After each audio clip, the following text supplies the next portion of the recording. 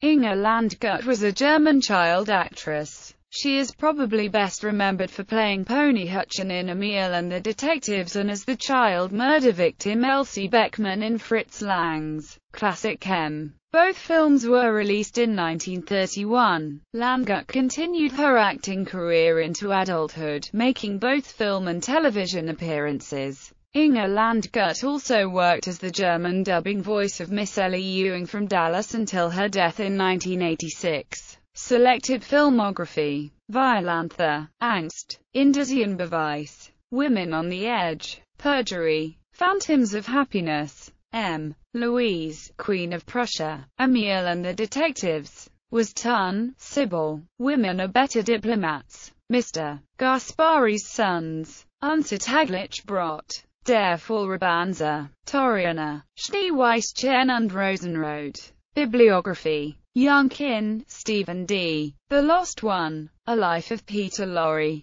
University Press of Kentucky, 2005.